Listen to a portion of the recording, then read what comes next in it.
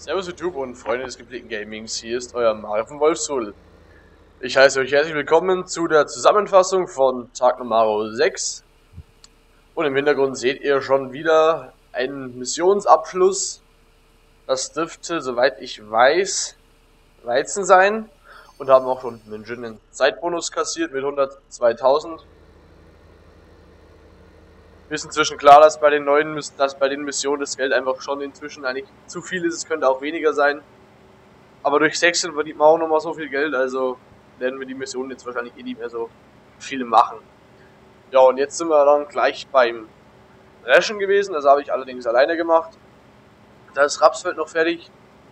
Das war, soweit ich weiß, da keine Mission mehr, also konnte ich mir da schön Zeit lassen mit dem großen Case gibt. Jetzt habe ich das auch schon auf Modhoster gesehen, in den exakten gleichen Case, nur ohne TerraTrack, äh, ja, ohne TerraTrack Reifen oder oder ähm, Ketten, Fahrzeug, Kettenraupen. Das ist eine schöne Sache, denn mir gefallen die nicht so. Und glaub, so wie ich das gesehen habe, gibt es auch den New Holland schon mit normaler Bereifung. Die werde ich mir demnächst sicherlich mal holen, wenn ich mir dann den kaufen würde, weil mir das doch einiges lieber ist. Die sehen exakt gleich aus, nur einfach die Reifen anders als wie original, also macht das keinen Unterschied. Aber das fährt sich sicherlich einfach schöner und diese Terragraph-Bereifung, also wenn die weg ist und der normale Reifen oder eben Doppelreifen hier sind, der Zwillingsreifen vorne, das sieht doch schon geil aus. Aber trotzdem ist das ein Mordsgerät.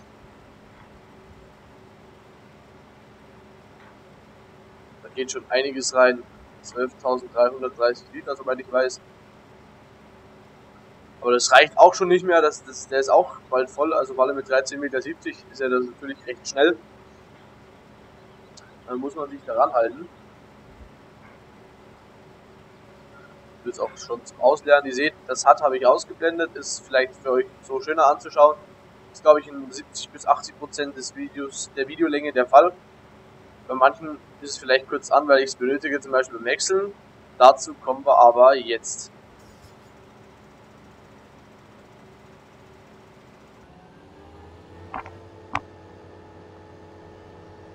Oh, das kann 17, 28 kann ich fahren. Ja, ihr seht schon, wir hexen das Gras auf unserem Feld 40, das wir zu einer Wiese umfunktioniert haben, damit wir gleich am Kuhstall eine Wiese haben, von der wir schön ähm, ja, schön gleich Gras äh, verwenden können für Silage und einfach so, entweder wir Grasballen machen oder so, kann man alles gleich in der Nähe machen, muss man nicht weit wegfahren.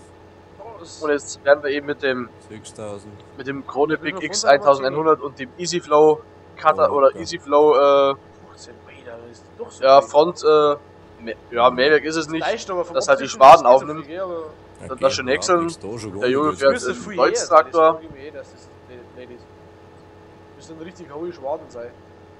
Die Schwaden sehen allerdings wirklich ein bisschen. Also ich habe die Schwaden ja, glaube ich, zweimal zusammengeworfen, also die müssten eigentlich dementsprechend hoch und dick sein, sehen aber hier total mickrig aus.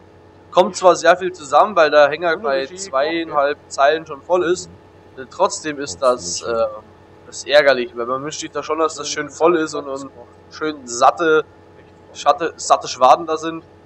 Na, ist leider nicht der Fall, aber gut. Ich kann nicht mehr vorausfahren möchte euch vorwarnen, heute dreht sich eigentlich fast alles nur ums Häckseln. Dazu kommt auch ein relativ langes Let's Play von uns beiden. Ja, über ein Viertelstunden haben wir das, glaube ich, gemacht. Also werden wir das auch in mehrere Parts unterteilen. Vielleicht drei oder vier. Mal schauen. Wie lange ihr denn ein Video ertragen könnt. Müsst ihr dann mehr, an, mehr ansehen. Ernsthaft, die, erste Schwade ist bitte nicht da. Ja. Ja, und es gibt wieder einige Multiplayer-Bugs. Bisher haben wir jetzt, glaube ich, schon vier. Also gut, dass es bei mir ab und zu auf dem Server leckt, obwohl ich eine 100.000er Internetleitung habe. Liegt halt daran, ist es auch nur beim Laufen. Also wenn du aussteigst und die Person, also mit deinem Avatar oder mit deinem Skin eben rumläufst, dann leckst du einfach. Aber das ist, wenn du in ein Fahrzeug einsteigst, komischerweise nicht so. Das habe ich festgestellt, das ist fast bei jedem so bei mir. Und war aber bei mir auch bei einem anderen so. Zweites Problem ist, dass diese ähm, der Füllstand vom, vom Anhänger, da wo man halt auslädt, erhöht sich das ja und vorne und weiter hinten, so wie man jetzt hier sieht, ist es halt natürlich niedriger. Das sieht man, soweit ich weiß, im Multiplayer nicht. Also, glaubt der Jojo, wenn der jetzt bei mir im Multiplayer ist, sieht er das nicht. Oder ging es kurz mal schon. Auf jeden Fall hat das auch gebackt. Das wäre die wär zweite Sache. Die dritte Sache ist, die Schwaden verschwinden nicht. Er sagt, die Schwaden sind bei ihm immer noch da. Also wenn ich die Schwaden aufnehme, sind sie bei ihm hinterher noch da. Der dritte Fehler. Der vierte Fehler wären bei den Forst, bei den Bäumen, bei den Tannenbäumen, dass man, wenn man die entästet, dass das nicht jeder sehen kann, sondern dass das nur der sieht, der sie ent entastet. Das heißt, jeder. Das heißt, jeder müsste die Bäume selbst entasten. Oder, oder halt, wenn zwei Leute, drei Leute, die dann aufladen und sowas, müssten das, die das alle einzeln machen und einzeln entasten, damit die dann halt nur die Baumstämme sehen. Das ist echt sehr doof. Ja, und das vierte, was eigentlich richtig nervt, denn der Radlader für die BGA fasst nun mal nur 6400 Liter, das ist einfach so. Und wir haben den zweiten gekauft und werden dann zu, wollten dann eigentlich zu zweit, nachdem wir vorhin gehäckselt haben und fast schon zwei Silos voll bekommen haben. Das eine war dann schon fertig zum Gern, aber das seht ihr dann eh. Äh, nach dem äh, Grashäckseln kommt auch dann äh, das große Unternehmen Maishäckseln und das, äh, glaube ich, 24 Stunden lang, also in der Spielzeit. Äh, das war echt ein, das Riesenfeld, das seht ihr dann eh gleich. Und eben hatte dann Jojo auch das Problem, dass die Schaufel vom Radlader, wenn er die Silage aufgekippt hat, die hat sich wieder nach unten gekippt. Automatisch. Also die ist, als würde die keine Halterung haben und wieder nach unten fallen. Und das hatte natürlich dann zweimal Pech, dass er dann die Silage ausgeschüttet hat. Obwohl er das gar nicht äh, wollte, er hat gar nichts gemacht und trotzdem ging die Schaufel einfach runter. Er hat es zwar dann danach irgendwie vorsichtig geschafft. Also sobald er den Arm vom Radlader nach oben geschwenkt hat, ist die Schaufel runtergefallen ohne, also das ist auch wieder so ein Multiplayer-Bug. Das sind jetzt schon vier Dinge, die doch wirklich nerven. Ich würde doch gerne darüber hoffen, ob nicht Giants oder ob nicht äh, die doch äh, so einen Multiplayer-Patch machen können, möglichst bald, dass das zumindest die meisten Dinge da behoben werden. Und das Wichtigste wäre halt doch schon mal, gut, dass jetzt die Schwaden liegen bleiben, das, das, das ist, kann doch nicht so schwer sein, das sollte man schon beheben. Das mit dem, wenn das möglich wäre mit dem Entasten, wäre das wirklich auch eine super Sache und das mit den äh, mit dem Füllstand auch. Natürlich nervt das mit den Radler der Schaufel auch. Ja, dann ist dann sie eh nochmal schwerer, weil ich weiß nicht, ob ich es vergessen habe oder nicht. Denn das nervt wirklich. Weil man kann nicht zu zweit ausladen und gut, man hat die 20.000 Liter, die in diesen, in diesen Silage-Schredder vom Fliegel äh, reinpassen, hat man schnell voll. Das wären dann vier oder fünf Schaufeln. Bisschen was geht ja auch wieder runter, ungefähr 100 Liter pro Sekunde. Trotzdem, zu zweit könnte man einfach anfangs gleich aufladen und könnte dann wirklich ähm, ja, die zwei äh, stehen lassen, dann ausladen hätte man schon wieder 13.000. Also zu zweit wäre das wirklich positiv. Aber jetzt habe ich hier, bin ich hier im Deutsch drin. Seht schon, das sieht abends wirklich genial aus. Was mir ein bisschen auffällt, ist, dass die Wiese einfach zu viele, zu viele Blumen und sowas hat, das ist einfach unrealistisch und unnatürlich. Das müsste ja schon ein spezielles, spezielle Wiese sein, wo der Bauer das gezielt angebaut hat mit so vielen Gräsern und Gräserarten und sowas. Jetzt seht ihr hier noch, noch einen schönen Bug. Ähm, beim Rohr vom Krone, der hat dann irgendwie die Textur beim Ausladen irgendwie nach hinten geschwenkt. Und bin ich jetzt, glaube ich, auch voll, ja. Ja. Bisschen was geht aber noch. Ich mag es wirklich gern, ohne, ohne Hut zu fahren, weil das ist so schön aufgeräumt, auch wenn ich nicht aufnehme. Allerdings ist es halt so, dass dann beim Häckseln und sowas müsstest du schon das immer anhaben, wenn du schauen musst, wie, wie so ein Füllstand aussieht. Aber wir sind voll und kippen das gleich zu den Kühen in das Silo, in das Silage-Silo. Das ist jetzt schon gefüllt mit einem Anhänger, glaube ich. Das ist jetzt der zweite. Und da links, rechts sehen wir den Case Puma, den wir auch, auch gekauft haben. Also ich kann ja mal aktuell jetzt heutigen Stand unserem Fuhrpark aufzählen. Wir sind jetzt, glaube ich, bei sechs Traktoren.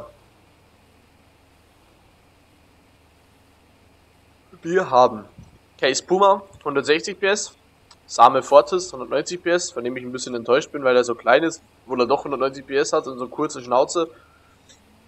Dann Lamborghini 220 PS. Äh, Deutz diesen, den wir hier sehen, 263 PS, den New Holland T8 320 mit 320 PS und den Case Magnum mit 380 PS. Also kann man sagen, Muss ja nicht Ähm, zwei und also wir haben zwei in den 100 PS Bereichen, also 160, 190, dann 220, 260, 60, 65, auch zwei in den 200er PS Bereichen und dann äh, auch zwei mit 320 und 380 in den 300 PS Bereichen ist eigentlich schön gestaffelt. Also wir haben alle Größen da, also wir haben mal mittelschwerer Traktor bis ähm, ja, Großschlepper würde ich jetzt mal den, den Ding bezeichnen, den Deutz. Und äh, das andere sind dann, äh, ja, das sind, was sind denn das? Kategorie, das sind ja einfach? Und sogar 40. Monsterschlepper, kann man nicht anders sagen. Metrischer von Oli gerade gute 20. Jetzt muss ich aber hier noch ein bisschen verdichten, damit das äh, So hast du es aufgemutzt. gleich schön, ähm, wenn wir das jetzt schon erledigt haben, denn wenn wir hier alles zu, voll schütten, dann sind wir vielleicht bei 50%, dann darfst du richtig lange verdichten. Und es geht jetzt noch einfacher, wenn du erst mal, mal zwei Anhänger drin hast. Jetzt glaube ich doch schon 50% vom Silo waren das doch dann der dritte Anhänger. Geht schnell. Da gehen dann nur 300%, äh 300.000 rein. Bei den BGA-Silos gehen 600.000 rein, also mal 4 wären das dann 2,4 Millionen. Soweit ich mich weiß, als wir damals noch die MIG mit Zelle gezockt haben, ging in ein Silo 2 Millionen rein, also ha, ähm, kommt das ungefähr so viel hin wie in einem Silo ist, damals bei der das ist MIG ein mit. Spezialgelos. Also, naja, aber es ist doch wirklich einiges, also vor allem mit Schaufeln, da bräuchte ich du wirklich, 300 Sachen ja nicht dann weißt 60 du, was- Schaufeln, an die 55 Schaufeln pro Silo. Mal 4, 220 Schaufeln pro Silo, äh, pro, pro komplette 4 Silos, also das ist heftig. Ja, und jetzt, meine Freunde, jetzt geht's ab. Jetzt geht's ab, jetzt wird gehäckselt, meine Freunde. Und zwar unser Riesenfeld kombiniert aus Nummer 22, 27, 32 und 33. Epische Geschichte. Ich bin in Deutsch mit meinem Bergmann Silagewagen. Der Jojo ist am Häckseln. Ich schätze mal ungefähr, der Jojo hatte circa 40 Prozent, nee, 35 Prozent gehäckselt. Der Money circa 50 oder sagen wir mal eher 45 und ich dann um die 20 Prozent. Ich kam dann ganz zum Schluss und haben einfach durchgewechselt. Also bin ich eigentlich dann doch die meiste Zeit gefahren, aber hat mir eigentlich schon sehr Spaß gemacht. War hier ein Schnitt drin, aber das stört uns jetzt nicht. Ich hatte hier eben das auch das Hut aus, um einfach die Schönheit des Deuts und überhaupt dieser der Aktion zu genießen. Einzige Problem war dann eben noch, wegen. dass man immer schauen muss, wenn ich voll bin, Dass ich das Hut wieder einblenden muss, aber sonst äh, war das alles in Ordnung. Er hat.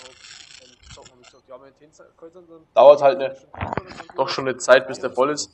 Aber wir haben das, ihr werdet das im Verlauf des Videos und der Videos dann noch nicht noch kommen, sehen, dass wir wirklich, also ein perfektes Timing hatten. Das hat so oft wirklich auf 20 Sekunden genau oder teilweise wirklich perfekt gepasst, als ich voll war. Natürlich, meistens war es so, dass äh, Manni immer ein bisschen warten muss, weil er im Kröger Agroliner fuhr, der 45 Tonnen fasst und mein Bergmann Silage Kipper oder Wagen eben äh, 55 Tonnen, also 10 Tonnen mehr. Und deswegen musste ich mich immer echt beeilen, aber ich habe es eigentlich so gut wie immer rechtzeitig geschafft. Also das waren wirklich dann 30 Sekunden, die dann äh, der Jo immer kurz stand. Also das war wirklich äh, perfekt organisiert. Das Feld ist eigentlich auch perfekt, weil die BGA wirklich nicht weit weg ist. Natürlich, desto weiter wir beim Feld kommen, desto kürzer wird der Weg zur BGA und desto schneller sind wir auch. Und dann hat es wirklich dann immer locker gereicht oder oder immer dann gepasst. Dann war es so. Aber Köln hat er eingegeben direkt.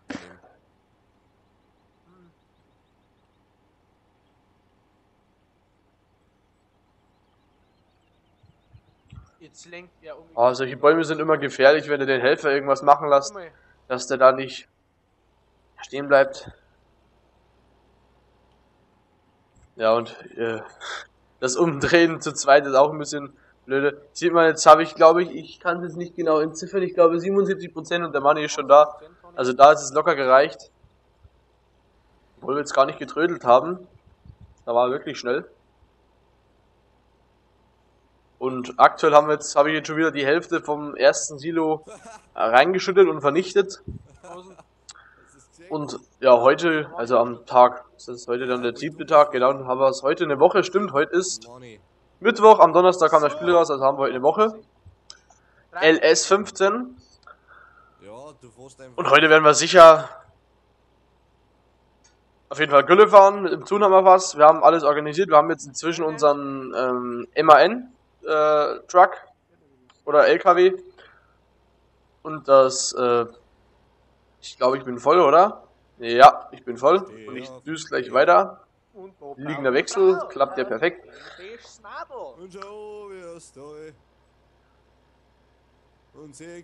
Neger. Da Und, ähm, ja, Was tust du jetzt mit dem? Ich weiß jetzt nicht genau, wo ich stehen geblieben bin. Irgendwas wollte ich noch sagen. Jetzt ist mir leider entfallen, aber es kann wohl dann nicht, doch nicht so wichtig gewesen sein. Was war denn für ein Scheiß zusammen? Was war er denn? Oder schneller? Ja, ein Foto fast. Jetzt reden wir gerade wieder darüber, weil ja immer so, der Manni immer so kurz stoppt und wieder Gas gibt, will er nicht wissen, dass es ein Tempomat gibt. aber das seht ihr dann auch im Let's Play, da, das sorgt für einige Lacher bei uns. Ah. Alter. Horst, Alter. Ja, wenn ich nicht so viel geschrieben hätte, wäre ich auch eine Minute schneller.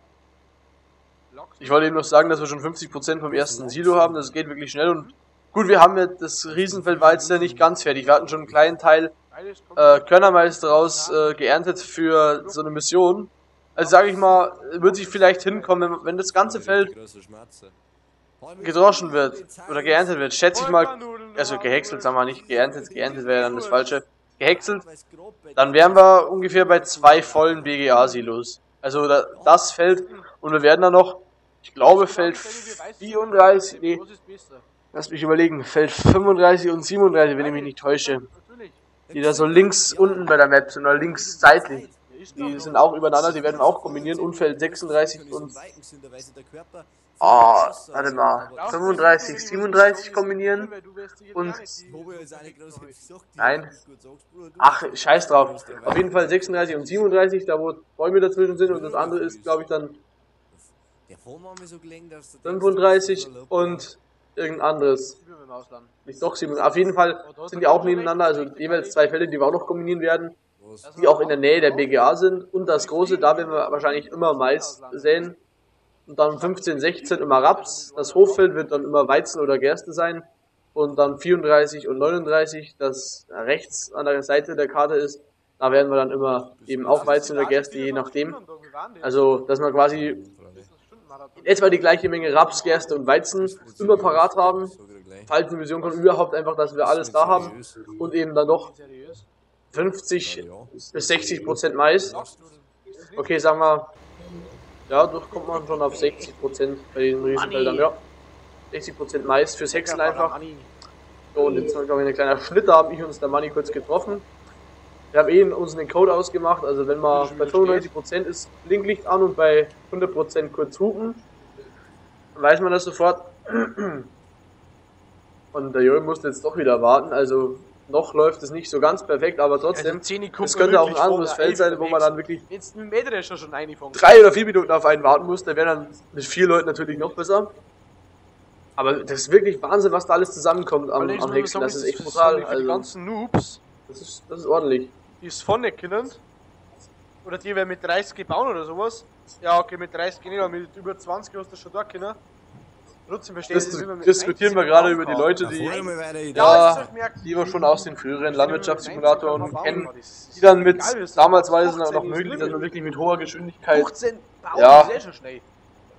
Arbeiten auf dem Feld verrichtet hat. 19, Ich nenne jetzt mal ein Beispiel, Grubbern, äh, Säen und ähm, ähm, Grubbern, Säen, Pflügen Na. und natürlich auch ähm, Mais. Ernten. Naja, Also er Mähdrescher, der Vorgänger, gell? die haben wirklich mit viel zu hohen Temp äh, Temperaturen, sag ich schon. Von so Wind, ähm, die dann mit zu hohen Geschwindigkeiten fahren. Also es gab, sich, es gab da Leute, die mit 20 km/h, na mehr als 20, 25 km/h da irgendwas geerntet haben oder, oder nee, nicht geerntet, gesät haben und geerntet, äh, also, Ich oder noch schneller. Also das äh, finde ich echt für den Arsch. Also solche Leute, weiß ich nicht, da kann ich nicht ernst nehmen. Da können sie gleich GTA spielen, weil wenn sie solche hohe Geschwindigkeit wollen, dann sollen sie doch GTA spielen oder irgendein Rennspiel, da können sie dann rennen, bis sie in der Wand sind. Also wäre das eher das Perfekte für sie. Man hat einfach bei der Lumberjump nur mal seinen sinnvollen Geschwindigkeitsbereich. Danach bringt es nichts mehr. Keiner wird mit 15 km/h hexen. Das wird einfach nicht der Fall sein. Gut, man kann hier nur mit 9 km/h hexen. Ist- Ich würde sagen, ist man kann noch bis einer- 10 oder 11 km/h gehen, dann ist Ja, aber Schluss. Also und 1, 2 dann gibt's ja km/h mehr würden- wäre noch in Ordnung. Damit sowas nie wieder in der Geschichte Das macht schon mal noch ein bisschen an der Geschwindigkeit was aus. Aber 9 km/h sind auch in Ordnung. Und 9 km/h beim Dreschen sind alles an, wenn äh, sind natürlich sehr in Ordnung, ja. ne? Wenn das das Maximum ist, dann ist das in Ordnung. Also ich sag mal so, bei uns, wir haben ja jetzt so Felder mit, ja, kleine bis mittlere Felder, also keine großen wie in Mecklenburg-Vorpommern oder äh, desgleichen. Ja, Also auch genau. sind ja im alten Vorland. Allerstärksten Also sag ich mal, bei uns äh, äh, erntet man mit 1000 5 bis 6 Kilowatt, km/h eigentlich. so- Wenn es gut geht, mal 7, aber das ist dann auch schon die Grenze. Also sag ich mal, mit 9 ist man eh gut bedient. Am Anfang sind wir nur mit 7 km/h gefahren, aber das passt mit 9 jetzt auch, sag ich mal. Und alles andere, gut, 10 ist definitiv zu schnell mit 19 km/h. Der Helfer macht das leider immer mit 19 km/h, das ist einfach scheiße. Das, da würde 15 km/h reichen, denn schneller wird das auch nicht sein. Also 15 km/h würde ich auch sagen, ist egal mit welchen, mit welcher Größe von Sämaschine und mit welcher PS-Leistung mit den 90%. und Also, äh, nicht sinnvoll. Über vorhin. 15 km/h. Und genau das gleiche beim Grubbern. Gut, Grubbern kann man schon wirklich mit 15, das stimmt. 15, 16 kann man mit einem Großflächengrubber wirklich auf dem Feld rüber rasen. Das ist 50 km/h und 16 km/h, das sind wirklich schnell, wenn sich das einer mal auf dem Feld ansieht. Das ist wirklich schnell, also in der Realität. Auch Pflügen, äh, 10, 11, Ich hab 12 wird auch noch gehen, also- Also wie Aber Dinge sehen- wir, aber ich ja wie gesagt, 15, da ist, sollte eigentlich Schluss sein. Der schafft's 14, genau 13, rechtzeitig 14, hier, 15, da sollte wirklich Schluss sein. Also 4 km/h weniger wäre das auch wünschenswert. Beim Mähen, das stimmt, da kann man natürlich auch Ich schneller fahren, obwohl ich. es auch. Wieder ein bisschen realistisch ist. Ja, ich weiß schon. Und ich habe jetzt geguckt, weil ich noch Egal, nicht voll bin, das war jetzt immer wieder von mir. Hier ich Aber wir haben jetzt jetzt, glaub ich, 91 sogar noch. Äh, 96, 97 Fast 91. 98. und es ist sie nicht mehr hingegangen, aber ich bin trotzdem gefahren. Denn ich hatte so gut wie 99 Prozent. Das eine Prozent da jetzt umzudrehen, ne, da fahre ich gleich. Das wären jetzt 700 Kilogramm, die mir jetzt da fehlen, bis der Anhänger voll wäre. Also da scheiß man wirklich Oh, drauf. dass ich Zeit habe mit mir vorlaufe auf 30. weil Es muss nicht die ganze Zeit noch sein. Und düsen gleich wieder zu Big, ja. Nachtreschen ist zwar geil. Okay, lass mal Zeit Aber ich kann euch wirklich sagen, freut euch auf das Let's Play, das Ja. war echt, das war echt gut. Also da haben wir, das hat echt so Spaß gemacht dann. Da haben wir das wirklich dann über eine Stunde durchgezogen. Wir wollten eigentlich nur so ein kurzes 20 Minuten Ding machen, aber ist da doch mehr draus geworden und alles nur Hexen. Also kann man das wirklich schön unterteilen, damit man, damit ihr euch das mal in mehreren Parts anschauen könnt. Ja, dann Und schon so. Sicherlich bald 100. Aber Folgen könnt. Zeit habe ich bei dem LS. Aber das ist wieder so, sag ich mal, so, ein Let's, so im Let's Play-Stil, vielleicht nicht ganz so äh, hirnrichtig bescheuert oder, oder halt so, naja, ich sag mal vom Ja, da bin ich schon mal stolz. Sprachgebrauch nicht So. Bei so Formel 1 oder so, wenn man nicht mit 10 Aufrufe oder so. Das ist ja kindisch wie damals. damals mit Flow beim zu sagen, LS13, so viel leider, das ist Aber wenn man zu zweit Let's Play macht, ist es einfach viel besser als allein. Wenn man alleine unterhält man sich nur selbst und kann mit keinen Diskussionen führen und sowas. Und das ist zu Wir sind zweit aber auch immer sehr gut. ne? Wir reden da auch über die 80% neuen Sachen im LS, was sie gut gemacht haben, was nicht. Also Neuerungen auch. Also ich empfehle es wirklich, euch anzuschauen. Ich werde wahrscheinlich heute den ersten Teil noch hochladen, bin ich mir ziemlich sicher. Muss ja da Gott sei Dank nicht viel schneiden. Allgemein und Leute noch Ahnung gehabt. Ja, dann hat die mir definitiv gar Und nicht. jetzt, Wenn ja, wir morgen, ich glaube, haben wir hier beim Sido jetzt vielleicht so was sagen müssen, aber sie verstehen den Sinn wenn ich nicht. nicht irre. Man hat einfach das Handwerk nur verstanden. Ich verteile das immer der recht gut, das gleichmäßig, also, ja. Früher hat jeder allgemein einfach gewisse Fähigkeiten gehabt, dass er Striche hat, dass er Reps hergerichtet hat. Unterhalten Oder uns jeder gerade selber der ein bisschen Rost, der einen Maler braucht. Ja, eben, Oder- du oder- diverse Themen über das Handwerk von früher. Das ist vielleicht immer ein bisschen das schwer, dass man nicht. eben, weil ich sag mal, wenn ich nur den Motorsand aufgenommen hätte, das geht ja leider nicht. Wenn ich über Skype rede, dann nimmt er einfach alles auf. Ähm, und ich, meine Stimme hört man dann auch. Also sage ich mal, wenn ich dann mal kurz nicht rede, nur heute rede ich ja wirklich die meiste Zeit. Also muss ich dann doch die anderen Stimmen, die man im Hintergrund hört, recht leise machen. Und die gehen auch halt auch den, den Spielsound recht leise. Der Mutter Aber da das ist nicht so schlimm. abwesend. Ich sag aber, wir kriegen nur zwei Silos nicht, und nicht mehr. Da baut er wahrscheinlich nur einen Unfall auf dem Weg, er dauert. wo das Maisfeld oder was? Dann steht in der Todesanzeige, ähm, Mann lag, er lag schweren Depressionen. na, na, in Bezug auf den LS, also, äh, ich wollte unbedingt rausfinden, Wie der Tempomat eigentlich funktioniert. ja, Frage! Ein Tempomat habt ihr es nicht? Frage, was für ein, Frage! Wildensitz habt ihr es nicht? ein Kniegelwitz, ja. Ein Kniegelwitz. Hätte sie auch bei 95%. Also wer von euch das jetzt verstanden hat, Okay. Kompliment, das war jetzt nämlich richtig schön Ja. bayerisch. Ein schöner Dialog, den glaube ich wollte ich jetzt nicht Es nachkommentieren. mehr schneller mit dem Weg fahren, weil das Maisfeld über näher ankommt. Exakt. Aber es ist gar nicht mehr so viel, gell? Also Nein, ich nein, das das ist echt nicht mehr viel. Da kriegen wir maximal Das noch 33er, das schneidet sehr so ab. Da kriegen wir maximal das zweite ja noch viel. Und dann Safety. Was mich voll aus dem Kurven umgeworfen. Aber haben wir 34 und 31 Tage nicht mehr, Du gell? bist aber da auch ein bisschen ins Feld gekommen, auch. Hä? Weil das so eine Spur durchs Maisfeld führt. Ja, ich möchte dann auch noch kurz die Story erzählen. Mit diesem, was er vorhin gehört hat auf Bayerisch. Das kommt, dieses Frage, diese komischer Laut, kommt auch von unserem Lehrer damals. Und von dem haben wir das kopiert, immer wieder das gesagt hat in der Schule. Also hat halt immer danach eine Frage gestellt, irgendjemanden gefragt, irgendwas. Und zuvor immer das Frage! Und er war halt so ein üriger bayerischer Typ irgendwie. Und äh, ja, da mussten wir auch immer lachen, das habe ich dann auch meinen Freunden erzählt. Und seitdem sorgt das immer regelmäßig für einen Lacher. Aber ist jetzt schon eh lange nicht mehr eingefallen, also war das jetzt mal wieder ganz belebend. Und äh, das andere, weiß ich nicht, ob ihr das verstanden habt, Gnechalsuiz habt ihr es nicht. Gnechalsuiz ist nichts anderes als äh, Knöchel oder Knochensülze. Sülze werdet ihr ja kennen. Ist jetzt nicht unbedingt lecker, also mir schmeckt's nicht, aber gut. Demjenigen, der, dem schmeckt's, ja, gerne. Und. Also ähm, ja, eben auf Hochdeutsch heißt das eben, da nicht Äh. Frage, Knochensülze habt, Da jetzt habt ihr nicht da. gesagt, Das habt ihr nicht zufällig da. Und auf Bayerisch eben, Frage, Gnechalsuiz habt ihr's nicht. warum? Ja, ist da ausgerüstet, Und ja. hab ich schon gesagt, oder? Na, Da fällt mir auch ein, ich, werd, Ja, ich hätte eigentlich schon Lust, mal ein bayerisches Let's Play zu machen. Okay, das habe ich vorher schon erwähnt. Eh Nee, aber das wäre echt mal was. Können wir beim Landwirtschaftssimulator würde das gut reinpassen. halt. Schauen wir mal, das werden wir. Aber es wird ja nicht so lang sein, wenn, da, wenn er da gar nichts versteht, dann bringt uns das auch nicht Ich viel. aber ist mal was Neues, das gab es bisher, glaube ich, wirklich noch nie. äh, Bayerisches Let's Play oder, oder ja, äh, man deckt halt sowieso aus. zumindest keins, das mir bekannt wäre, oder zumindest ein richtiges, eine bayerische Let's Play-Reihe oder sowas. Ich, ist mir nicht bekannt. Außer von. Let's Playern, die so wenig Aufrufe haben, dass man die gar nicht findet. Ich meine, ich habe ich habe das zwar schon mal eingegeben und habe da nichts gefunden, also habe da zumindest keinen gefunden, der wirklich bayerisch redet. Stimmt, das ist der Mani.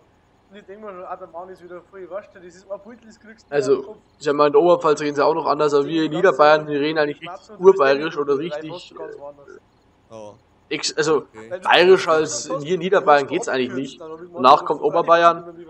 Also das ist jetzt auch noch recht ähnlich zu Niederbayern, der Dialekt. Oberpfalz. Das wird schon mehr Hochdeutsch. Und ja, ich würde sagen, wir sehen uns dann, also das Let's Play, äh, das Video endet ja hier, wo dann das Let's Play nachher beginnt. Kurz danach. Und wünsche euch dann mit dem Let's Play, dass dann die Tage oder die Parts, die die Tage kommen, viel Spaß. Ich hoffe, euch hat die Zusammenfassung heute gefallen. Ist mal ein- wieder was anderes, diesmal halt fast nur Hexen, aber weil uns das eben so begeistert hat, haben wir eben dann nur das gemacht. Forst haben wir gar nichts gemacht. Kommt aber die Tage auch wieder. Ja, wenn wir schon mal auf dem Hof Und ja, dann macht's gut. Wünsche euch viel Spaß noch beim LS-Zocken. Ciao, euer Wolfsrudel. Du das? Schließender Wechsel.